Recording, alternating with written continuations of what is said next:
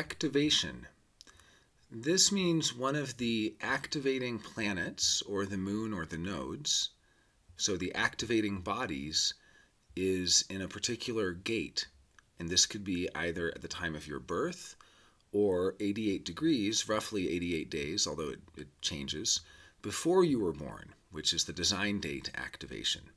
So you have the personality activation at the time of birth, you have the design date, 88 degrees retrograde of the sun, before you were born, and there are 13 activating bodies.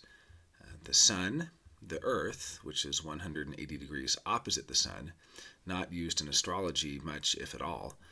Um, the north node, the south node, and these are the true nodes, not the mean nodes, which is another variation. In, in astrology, you sometimes look at the true node, sometimes look at the mean node. Uh, these are the true nodes.